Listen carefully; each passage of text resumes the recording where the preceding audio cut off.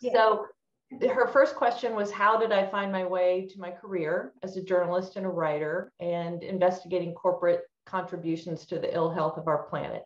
And I guess as a journalist, you know, I, I always wanted to be a journalist. I never wanted to be anything else. So it was pretty easy. I uh, knew from probably 12, 13 years old, um, that was what I wanted to do. Um, you know, I was influenced by a book, um, well, and a movie, more the movie probably than the book, All the President's Men. Um, I'm sure some of you are familiar with that, right? And Watergate and how these two Washington Post reporters, uh, you know, who you know weren't particularly you know known well known or well respected um, but how they uncovered this giant story and this giant scandal and ultimately their work exposed you know this this wrongdoing to the public and took down the president of the united states and i just thought that was phenomenal. And i thought that journalism was probably the very best thing you could ever do on the planet because the way I've always seen it is I get paid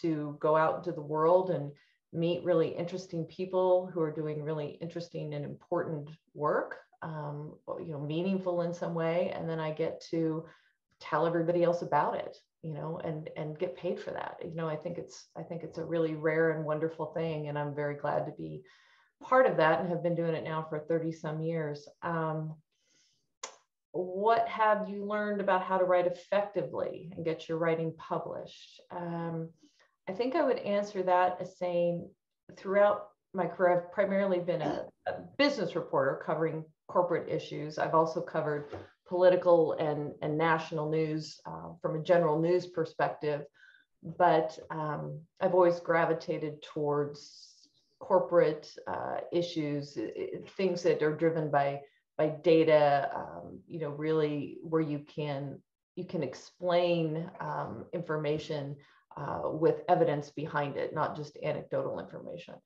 But I've also found that the way to convey that information to people and make them care or to have it resonate is to tell personal stories of individuals who are affected by the public policy issue I'm writing about, or you know, who are involved in the story in some way. Um, for instance, way back when, you know, gosh, when was this? The early 2000s, uh, the Iraq War. Uh, we were having a lot of um, uh, pushback against the Iraq War. There was a, a, big public policy debate going on in Washington, D.C., and across the country as more and more Americans started to push back against the war. And we were seeing a lot of uh, young Americans come home, you know, in body bags and that sort of thing. And so one of my assignments for Reuters was, was to write about that debate. And the way that I wanted to do that was to tell, to open my story and to tell the story of, of a new widow, you know, and I went to her small town and sat with her in her home, you know, as she awaited the delivery, you know, of the flag, uh, you know, and the remains of her husband um, and that sort of thing. And so open my story with that and I've tried to do that in my books and all my writing to just really bring it home to you know who it affects um, and how how we're all connected um, through these stories. Uh, challenges I faced as a writer, the biggest challenges I guess um, we can get to talking about, but uh, when I started covering the chemical industry, the agrochemical industry, and these big companies, Monsanto and DuPont and Syngenta, uh, I got not at the very beginning, um, but as I became more knowledgeable and a more sophisticated observer and writer about these, the problems that uh, were being found, uh, these companies pushed back on me pretty hard. Monsanto, in particular, uh, really came after me, and um, you know, there's I can share these links later, but they uh, made it part of a campaign. Um, internally and spent quite a lot of money to destroy my reputation, to interfere with my career, to try to uh, downplay my books. Um, there, there was a whole. We we found out through litigation there was a whole internal plan. They had a spreadsheet set up uh, called the Carey Gillam Book Plan. And they hired consultants in Washington, D.C. to uh, use third parties to try to smear my reputation and write untrue things about me and have that published around the world. And um, it was really quite interesting to see the lengths they went to uh, to try to to ruin me and ruin the books. Um, my process here, this is question four. Talk about your process for researching and writing. Um, gosh, uh, you know, I just, you're asking questions, right? Uh, I'm trying to think of a good example here. Um, I guess my my book, I could talk about my first book, Whitewash. Um, the process for researching and writing that uh, was really took place over 20 some years. You know, it was gathering science, uh, scientific studies, talking to scientists, uh, talking to farmers, agronomists,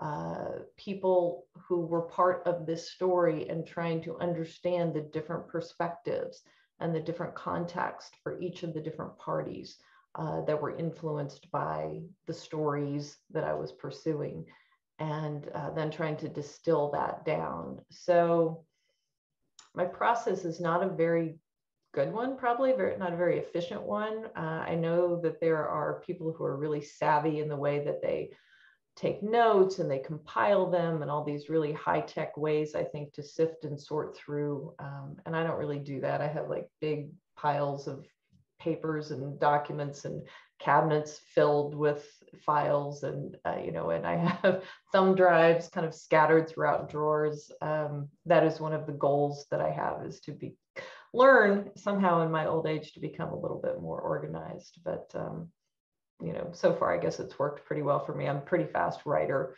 Um, so maybe i overcome that. Um, what makes for effective publishable nonfiction writing for journalistic writing I think I'd go back to the way I answered number two.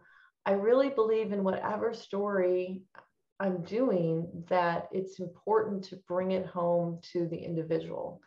And whether it's a story about water quality or you know EPA regulations about air quality or USDA data on pesticide residues in foods. Um, you know, or something like that, you really want, you know, why do we care? Why is this important? Um, it's important because we all eat the food, you know, we breathe the air, we drink the water. Uh, we're going to have kids or grandkids, or we have friends who have kids who are going to be living, you know, 10, 20, 30, 40, 50 years from now. We want a world that is healthier for them, um, in which they can live and thrive and, and um, have a happy and, and secure life. And and that's what motivates me i guess and that's the way i want to tell my stories and the context that i want to put all my information into. Um, read excerpts from your books. Okay well we can get to that. Um, how do you get articles published? So i left reuters we should talk about this. I started with reuters in 1998 uh, and and had a long run there and it was a wonderful run and covered a number of different stories. I was on the national correspondence desk. Uh, if you don't know Reuters, Reuters is one of the oldest and largest international news agencies uh, in the world. And I, you know, it was just a wonderful thing to be employed there. I had, uh, you know, the opportunity to meet and to interview, you know, just many influential, powerful, interesting people, um, ranging from, you know, somebody like Evander Holyfield for crying out loud, uh, to being on the campaign bus with Barack Obama when he was um, a new candidate in 2007. And uh, interestingly enough, I didn't want to be on the campaign bus with Barack Obama because, you know, I wanted to be with Hillary Clinton, you know, because Hillary was the front runner and she was the one who was going to make all the news. But, you know, I, I got the bad assignment. I got assigned to Barack Obama's bus. And, uh, you know, that turned out differently than I expected, but it was it was a fantastic experience. And I think that's a lesson I've learned over the years is that things that I don't necessarily embrace initially, assignments, you know, um, stories, just anything really, just because I don't think it's going to be fantastic at the beginning doesn't mean that I shouldn't pursue it. It doesn't mean that I shouldn't dig in and give it my whole um, ability as best as I can. And I've found that those kinds of situations really uh, often turn into the best, the best stories and the best experiences. Um, how do you get articles published? So I left Reuters, uh, you know, while I was at Reuters, pretty easy, obviously, because I just would file my stories, boom, and they go out on the wire to the world. When I left Reuters at the end of 2015, uh, I did so to go to work for a nonprofit, um, continuing to write and research and do investigative work on environmental health issues, and to write my first book, Whitewash, uh, which I started writing in 2016 and it was published in 2017 but I also, you know, just wanted to really keep my my work out there and my news out there. And I was fortunate enough um, to get the attention of the Guardian editors. Uh, and the Guardian is another very influential, powerful, wonderful journalistic organization, uh, particularly when it comes to environmental stories. And uh, so I've been writing fairly regularly for them, and you can find my work on the Guardian website. Um, but I've also I've wrote a piece for Time Magazine. I've written for other magazines and articles, and it's just really about a good a good pitch. You know, putting together a short summary of what it is you want to do and why it's meaningful, why it's different than anything else that's already out there, what data, what evidence, what anecdotes you're going to have, and pitching that uh, to the editors. So uh, that has worked pretty well for me so far. I should say I'm getting ready uh, at the end of this month I'm launching um, a new news outlet, a new environmental news outlet called the New Lede, L E D E, uh, with the backing and as an initiative of the Environmental Working Group, which is a, uh, a large and old and large environmental group based in Washington, D.C., uh, that has a lot of scientists on staff and does a lot of research in the environment and uh, is a fairly um, influential source uh, with lawmakers and others. So they really wanted to uh, support a journalistic endeavor. And so I'm trying to get that together. And I'm looking for freelancers if anybody out there is interested in writing about human health or environmental stories for a new news outlet. Um, so the last question is what kind of blowback have you faced? I already uh, sort of addressed that I'm going to put a link just because it's kind of fun to read it maybe in the chat. Although I don't know if you guys watching can, who are actually there probably can't see the chat, I guess.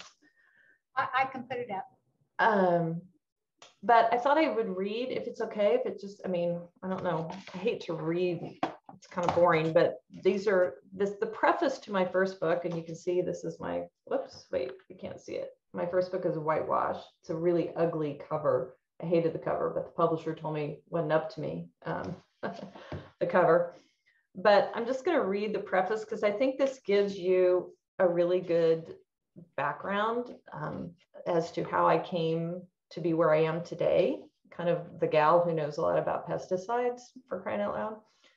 Um, so is that all right? Everybody can hear me? Nobody's asleep yet? Okay. Uh, it's been nearly 20 years since I first walked into the corporate headquarters of Monsanto Company, a visit that would become one of many over the course of my career as a national correspondent for Reuters, one of the oldest and largest news agencies in the world. Meeting with top executives, scientists, and marketing experts at Monsanto, perhaps the world's best known agricultural powerhouse, was part of a job that called on me to help keep international audiences informed about the ins and outs and evolutions of agriculture in the United States. The type of seeds farmers planted in their fields and the chemicals they use to treat their crops are big business, amounting to billions of dollars in revenues for Monsanto and the other companies that sell them. But the fundamentals of growing food ultimately have much larger implications. Not only do farmers' choices influence commodity pricing and trade relationships, but they also ultimately affect the health and well being of all of us. The food we eat, the water we drink, the landscape of our environment, all are connected to these seemingly simple choices made by farmers in their fields. Before my 1998 move to the farm state of Kansas to write about agriculture for Reuters, I spent a good deal of my journalism career delving into the financial wheeling and dealing of the big banking, commercial real estate, and insurance industries. I also spent a fair share of my time chasing chaos. I covered the death and destruction wrought by Hurricane Katrina, floods, fires, and droughts, and the countless tornadoes that roared across rural America. And I was dispatched to duck bullets, bricks, and bottles in the race torn riots of Ferguson, Missouri, and elsewhere. When assigned to cover the ag beat, I was at first a bit reluctant. I was skeptical that it could bring the intrigue and excitement I had experienced with the prior work I had done. And I had a lot to learn. My education in food production and farming meant not just sitting down with executives at companies such as Monsanto and rivals Dow, AgroSciences, and DuPont, but also listening to and studying the work of agricultural economists, soil and plant scientists, experts on seed germplasm, and of course, farmers. My favorite times as an ag journalist have been spent in blue jeans and mud boots, traipsing through higher than my head corn stalks with farmers and riding inside the cabs of combines alongside the hardworking, often tough talking men and women who understand better than anyone the risks and rewards of modern food production. I have immense respect and gratitude for these farmers who devote their lives to toiling in unforgiving fields where the harvest bounty often depends on the whims of Mother Nature and the bulk of the profits go to deep pockets much higher up the food chain. And I stand a bit in awe of the scientists who spend their careers studying how to do more with less, how to grow enough food for an expanding world population in ways that could not even have been imagined a generation ago. When I started down that reporting road, I was an eager student, nearly as impressed with the advanced technologies of modern agriculture as with the people who work the land. I was someone who had never given much thought to what went into the products I purchased at the grocery store I didn't buy organically grown produce as it seemed too expensive. And I didn't spend time fretting over invisible, invisible chemicals that might lurk in my lunch. The debate about the then nascent technique of making transgenic changes to food crops was a mystery to me, and I was a devoted consumer fan of Monsanto's hit herbicide product, Roundup. I used it, used it liberally in my suburban backyard to keep weeds at bay. But over the years, as my research and reporting expanded to include doubts about the benefits of genetically modified organisms and the risks associated with the chemicals used on them, I became a target of Monsanto's ire. Company representatives and industry surrogates alternately sought to bully me, charm me, intimidate me, and cajole me to write news stories in ways that parroted industry talking points. They told me there was no justification for reporting both sides of the debates over Monsanto's crops and chemicals, because the science was settled, all was well, and anyone who questioned that was thwarting Monsanto's mission to feed the world. When I would not adopt the desired narrative, surrogates attempted to assault my character and credibility and made efforts to derail my career. Monsanto executives and representatives from Monsanto funded organizations sought unsuccessfully to convince my editors to yank me off my beat to block further coverage of the issues. They could rarely, if ever, find errors in my reporting, the problem they would complain was one of bias. As you'll see in reading this book, the only bias I hold is for the truth.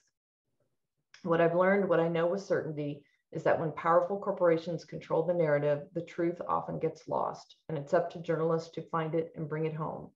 That's what I've tried to do with this book. For decades, companies have whitewashed many of the facts about the crops and chemicals that they have helped make a central part of modern agriculture. Yes, there are rewards, but there are also risks, many. And without transparency, none of us can make informed decisions about what we eat and what policies we do or do not want to support. My admiration for American farmers has never waned, but this journey through our nation's food system has left me with a very real fear for my children, for your children, over what the future holds. It's undeniable that we have allowed our food, our water, our soil, our very selves to become danger, dangerously doused with chemicals. And one of the most pervasive, pervasive of those pesticides is the subject of this book.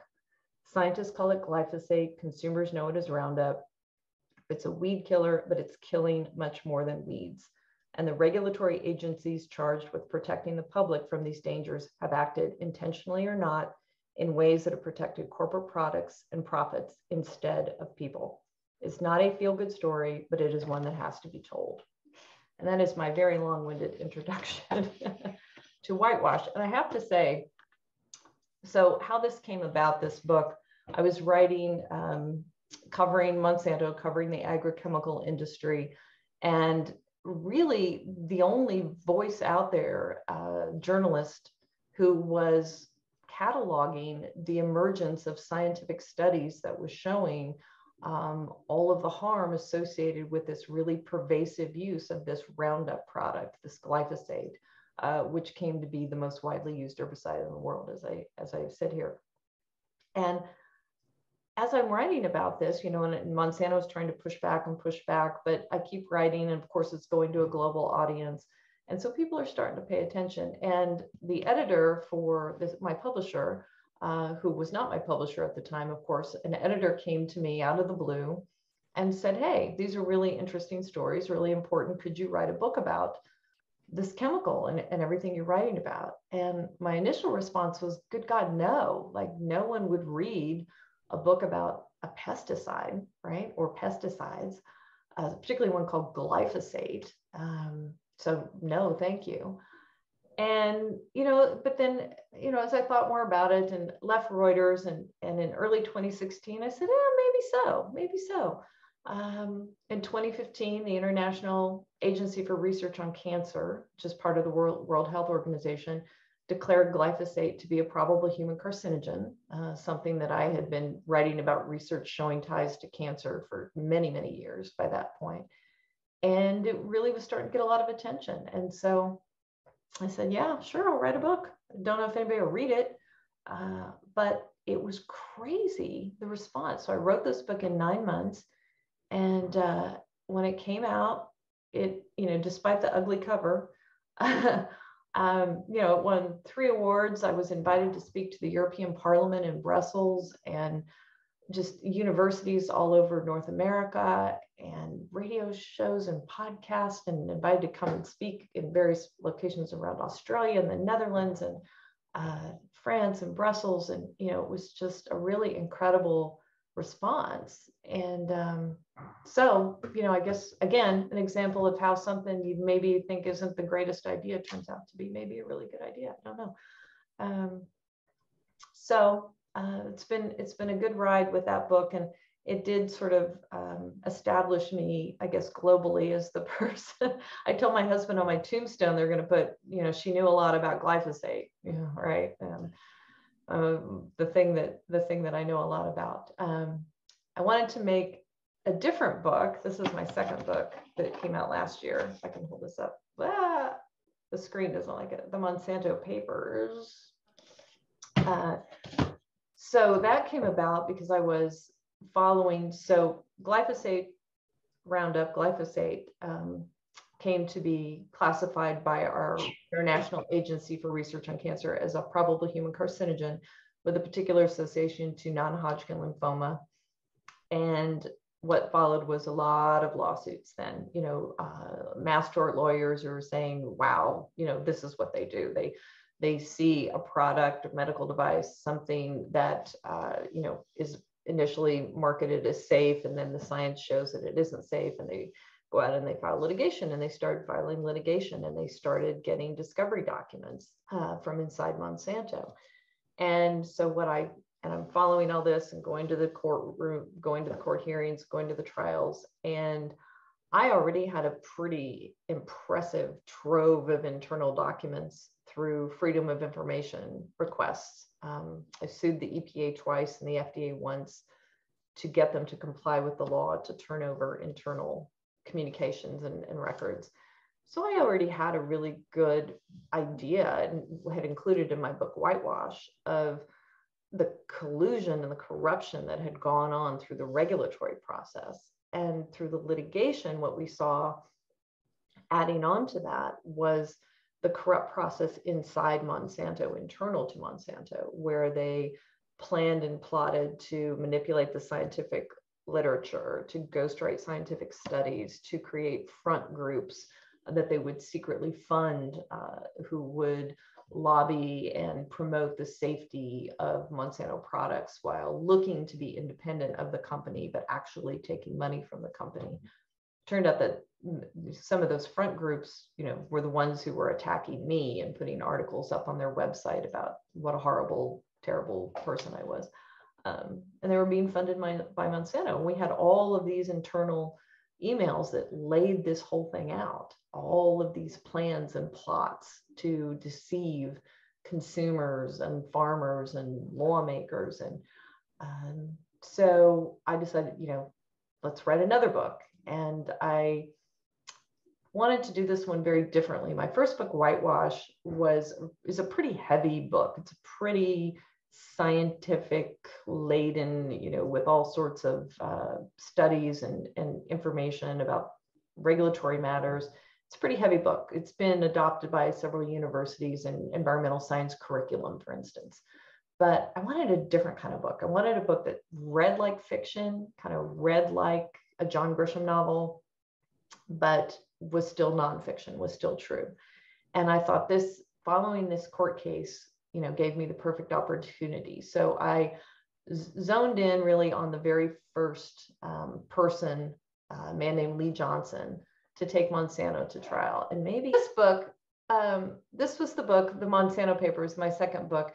And as I said, I really wanted to, um, you know, tell this through the story of of the first man to go to trial. And I wanted wanted people to understand his battle with terminal cancer and how it affected him and his family and his kids and his struggle when he's told he has 18 months left to live and you know and the lawyers that he teams up with and and just really because it it really was a an incredible epic sort of battle of the little guy against the big bad corporation and the internal documents i mean it just had all the makings of of a movie, I thought. And I, I told my publisher, you know, I actually pitched this to them and I said, I, I this looks is like a movie. I can't make a movie but I can write a book. So let's do that. So this is the man, Lee Johnson. I just have a few slides here. This isn't, I didn't put this together for this group. I'm sorry, but this is the man, Lee Johnson. And uh, he was just, just average guy, kind of pulled him up, himself up by the bootstraps, uh, had a really hard upbringing in a bad part of uh, Vallejo, California, didn't really know his father, had an absent mother, didn't graduate high school, got in trouble with the law a little bit, you know, just really struggled um, as a young adult. But by middle age, he was rocking and rolling. He had two kids, he was married. He'd gotten a good job as a groundskeeper for the school district and was super proud that he was, you know, able to support his family in a middle class lifestyle. And he's spraying these chemicals as part of his job, glyphosate, Roundup, and he has this uh, very unusual catastrophic accident in which he's just doused in this in this glyphosate weed killer from head to toe and his protective gear is not sufficient to protect him um, and you know gets inside the suit and everything and what happens, oh, there we are. very excited. So I've spent a lot of time with Lee and trying to tell this book, trying to write this book to understand his story. And this is this is the apartment he was living in when I met him, and it was a very rundown. He, you know, he got cancer. He's has terminal diagnosis. He loses his job because he can't work, and he ends up uh, having to move out of the house that he had uh, been so proud of and live in this cramped little dark apartment. This is how the cancer manifested. It was in a mycosis fungoides uh, type of non-Hodgkin lymphoma that manifests on the skin. And so the lesions and the tumors develop externally. They do damage internally, of course, to your organs and, and move through your bloodstream but you actually visibly can see the cancer. And these these types of things were all over his entire body and were incredibly painful and um, and humiliating for him. And it hurt him to move. It hurt him to put clothes on. And he was embarrassed to be outside where people could see. You know, people would stare at him, and um, you know, it was just a really poignant story. Um, this this painful process he was going through. And then in the book, you learn how he comes to see an ad for uh, the Miller Law Firm in Virginia. And this man here that you see on the left with the standing up and the beard and is Mike Miller.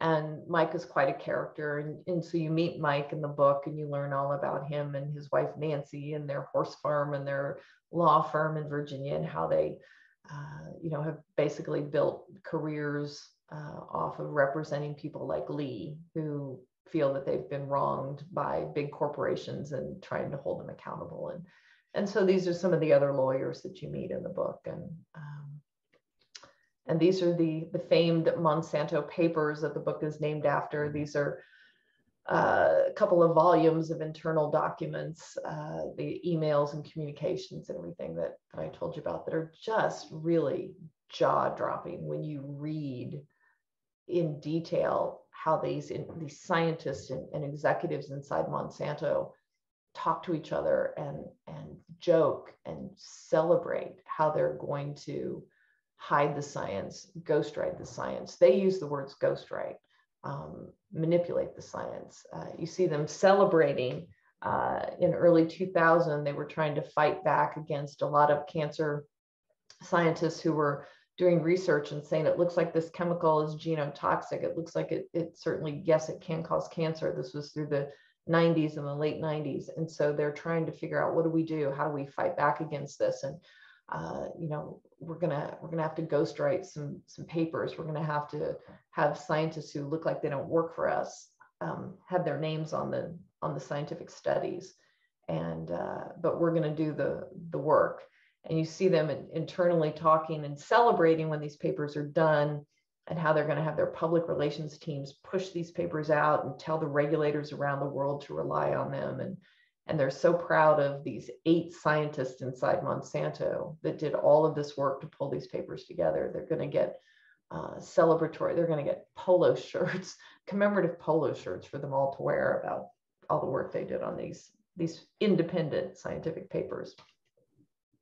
Anyway, um, and then this is, these are, I have to give a lot of PowerPoints. So this is, you know, just go through, I guess, a lot of what the documents show.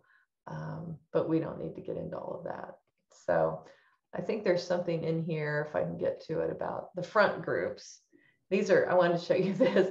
So this American Council on Science and Health um, and Genetic Literacy Project are two of the front groups.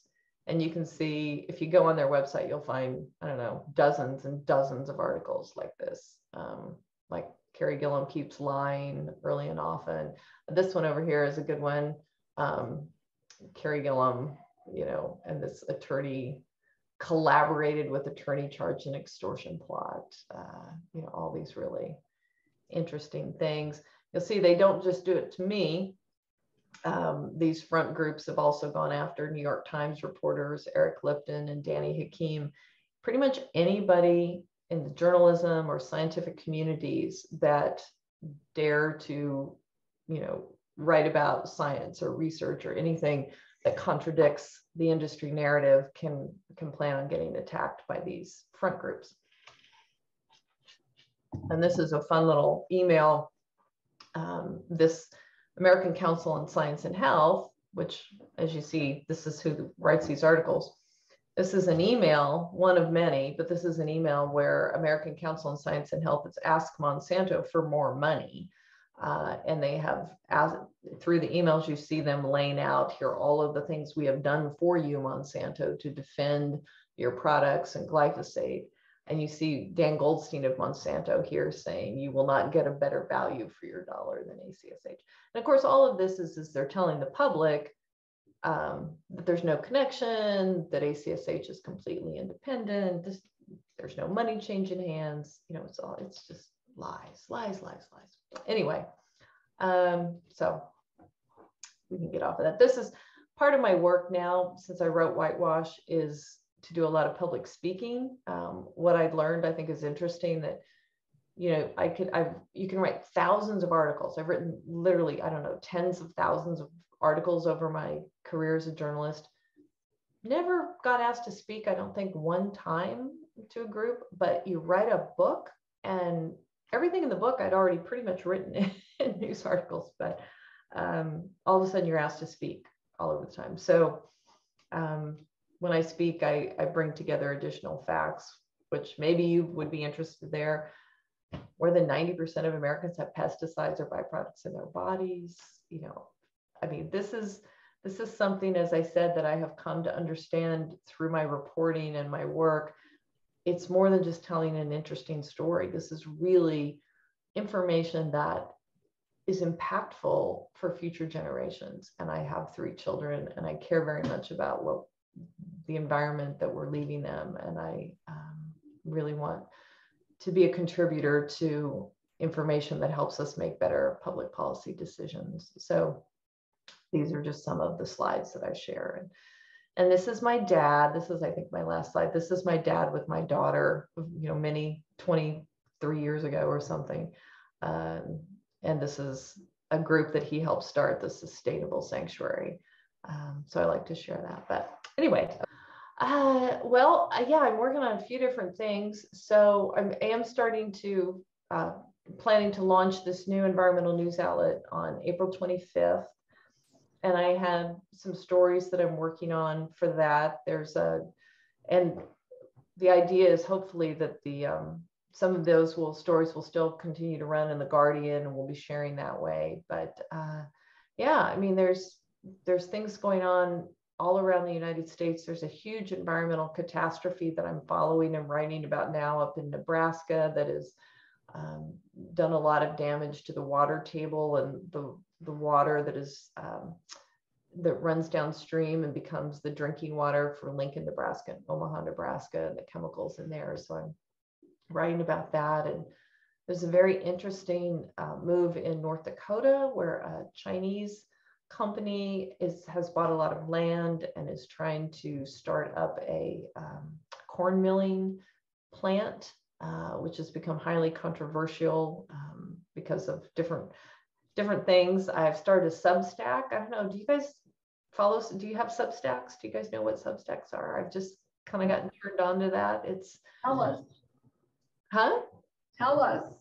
Uh, yeah, so Substack, uh, wonder if I can share that. Well, Substacks are sort of a new way for writers to share, you know, whatever they want to write, um, fiction, nonfiction, poetry, and and you basically put your work out there in a Substack. It's free. It's a whole platform that's set up for writers, and you can invite people through on your email list or friends, or you can share it on social media and and it's a way that you can share your writing on a, on a platform uh, where you can monetize it if you want to. Uh, you can have people gain access just for free, uh, or you can charge people to, to gain access. And so some of the really good writers out there uh, are making a lot of money. It's crazy. Like you charge, I really, I really think it's great. Mine is called Unspun, like, you know, the spin, unspinning the spin, unspun. I don't know. Um, so anyway, um, what else? Any other questions? Could you uh, could you show us your your unspun? Yeah. So this is what it looks like. Um, this is you know I'm in I'm in it, but uh, unspun. This is what it's about. So you can go to home. So this is an article that I just wrote. When did I write that? A couple days ago. Here's another one. This is what I was telling you about the sad story of Mead, Nebraska. Toxic contamination persists amid cleanup efforts. Um, and so you can see here, I just did a little teaser. Um, and I said here, I'm going to be writing, where did I do this? I said, uh, yeah, it will take me a while to get all the latest details into story form, but I'll leave you now with two photos that capture some of the catastrophe. So, you know, it, it can be like a personal notebook, it can be op-eds, it can be almost anything you want. Um, Substack.com. Right. Substack.com, yeah. And um, let me see if I can. The home for great writers and readers. So uh, I highly encourage you to, you can see all of this food writers, comic, finance, bloggers, podcasts, uh, the whole thing. It's a, it's a really cool, cool thing, I think. You know, I, I guess I've become so cynical now. I don't trust much of anything I read. Certainly not mainstream media, not the New York Times, the Washington Post. There's been such a skewing, I think, of information, particularly over COVID. And just, it's so hard to understand. And news has become so propagandized and on all sides. And so the way I just try to navigate is to just, as I said, go to the source material, show me the research study and then show me another research study and let me read 10 research studies and they're probably going to have different findings and then let me try to synthesize that and let me listen to as many different voices and perspectives as I can and what makes sense to me and what doesn't make sense and ask the hard questions. Um, we all have to be, I think, ever more cautious about really not just not just following by the you know led by the nose um, the loudest and you know who who has the loudest megaphone. Um, i've come to learn you know quite personally through covering these corporations incredibly powerful incredibly rich go to great lengths spend millions and millions and millions of dollars every year on messaging to to form public opinion in a way that promotes their products and supports their profit agendas. And you know that doesn't just happen in the agrochemical industry. It happens in the pharmaceutical industry in the oil and gas industry and pretty much any industry out there that is about making money. A big part of making money is this propaganda. And so we all know it. I mean it's part of the game. It's marketing. It's advertising. Um, it it influences intentionally how we feel, what we believe, how we act, what we buy. Uh, but it's very definitely not in our best interest. It's for the interest of the corporations. So you have to be skeptical and you have to um, be self-protective and and you have to go to the source material if you are going to care about and be influenced by what you're reading. I really think you have to be skeptical. And that's why i mean in my book a lot of people have sort of made fun of me um, or or laughed a little bit about the end of whitewash because i mean i don't know there's like 50 pages of links to source data because I was so worried that Monsanto was going to try to attack the book, which they did. So I, you know, put source material for almost every single fact I ever stated in the book. Um, it's because of the way that I do write my stories. I, I mean, I, I am very diligent about sourcing and attributing and documenting anything I'm going to write that is, you know, going to call somebody out or be controversial potentially. So this is a story that I just did not too long ago in the Guardian. 120,000 US sites around the United States. Uh, this is EPA data um, that shows that are handling PFAS. Um, they're referred to as forever chemicals.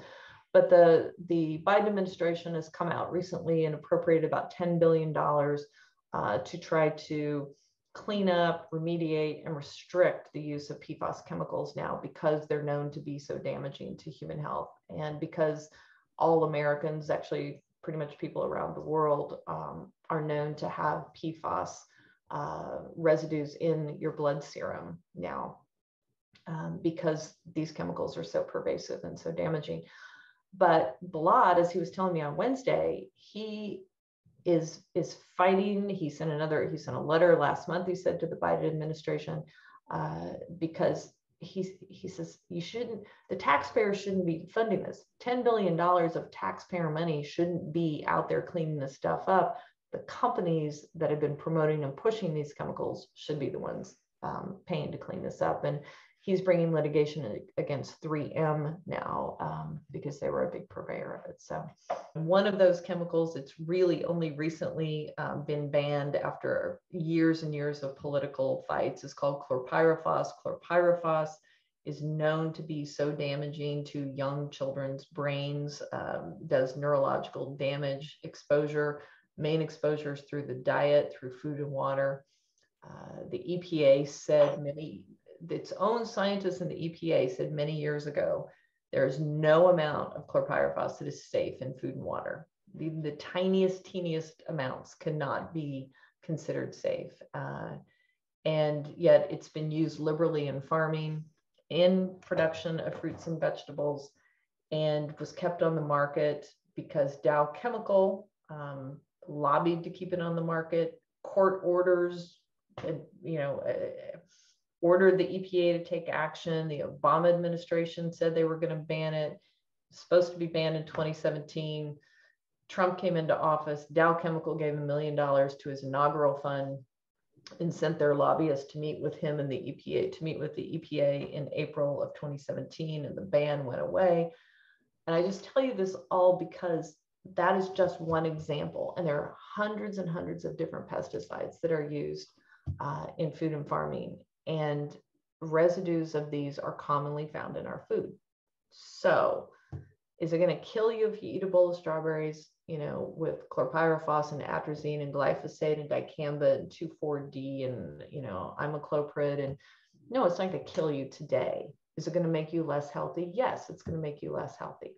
It's going to contribute to the other toxins that you're exposed to in the air and the water and plastics and this toxic soup that we've created with our modern world. And you know, depending on your lifestyle and your habits and what other things factor in, you know, maybe you'll develop cancer, maybe you won't, maybe you'll develop Parkinson's, maybe it will contribute to liver uh, disease or others. We are made less healthy by the environmental contaminants that we are exposed to. And so if you can reduce that exposure in any way, shape, or form, I think that's a good idea. Do you see this? Yeah. So yeah. So PFAS is sort of, um, as I said, it's a whole array of different, there are 5,000 different chemicals pretty much that qualify as PFAS. But uh, yeah, I mean, that's one of the most common things. I mean, food packaging, um, these chemicals are found in pizza boxes and popcorn bags and, you know, pretty much everything you take away from uh, a fast food restaurant is going to be something that, that you have PFAS in. So, um, yeah, I mean, it's a big concern. This is what, I mean, you can see grease resistant there. It's also found in, um, you know, clothing and um, uh, anything to make things sort of water resistant, grease resistant, stain resistant. Um, it's found a lot in firefighting foam and, uh, you know, firefighting gear, protective gear that firefighters use. Um, so this PFAS exposure, you can see here in this story, um, the studies have linked PFAS to immune system suppression, lower birth weight, increased risk for cancers. Um, you know, in things as common as like the paper that's wrapping your hamburger, you know, or salad bowls. So, uh, yeah, I mean, this is something I'm writing a lot more about and very concerned about. As I said, I guess at the beginning, the more you know, like just the more frightening and stressful it is just to live in the world. uh, there's a in Canada, there's a movie that was made about a Canadian farmer. Um, Schmeiser, I can't even remember his last name. There it is. Um, Percy Schmeiser. And uh, he, as I said, there's a whole movie made about him. He was sort of representative or emblematic of the fact that Monsanto sued hundreds of farmers um, around the world, uh, a lot in the US, a lot in Canada and elsewhere, and put in place a number of practices to prohibit farmers from doing that, from sort of this traditional practice where farmers would save seed and reuse seed from a crop they grew, uh, and then they were able to use that uh, the following year. So they weren't constantly buying new seed every single year from a dealer or a distributor. But when Monsanto introduced genetically engineered Mhm. crops to the world, Yeah. yeah, uh, they those are patented, and so farmers have to be licensees or they have to sign an agreement when they buy the seed that says they will not reuse it, that they will buy it new every year because it's a patented product from Monsanto. And so, and they, I mean, they pretty much won every person they sued. I mean, Monsanto won on this. And, uh, but the movie, what is the name of that movie? I'm trying to find it here. Uh, it really is a sad, sad story. You know, it talks about how it ruined him, basically ruined his farm and, you know, all of his money and that sort of thing, uh, trying to fight against Monsanto. But yeah, so in Africa, and Africa was a huge, I mean, still is, I guess, a, a huge um, goal for DuPont and Monsanto and the others uh, to take over Africa essentially and to drive modern conventional chemical GMO agriculture into African practices. And, you know, they've been working with the Bill and Melinda Gates Foundation for a number of years. A top Monsanto executive went to work for the Gates Foundation back in the early 2000s and really set up and start to drive that African program.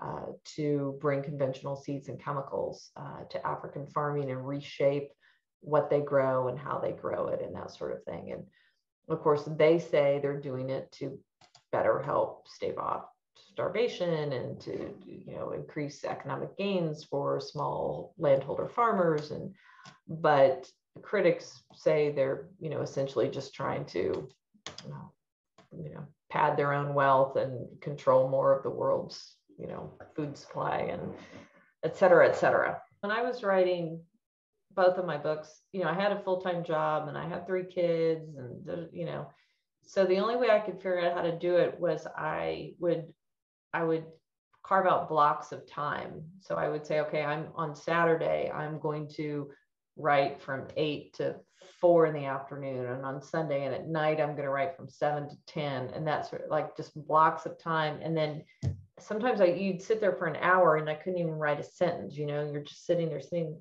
but but the process of carving out time that was devoted only to writing. And I felt like if I waited until I felt moved or you know, or the words came to me or something, that would not work very well.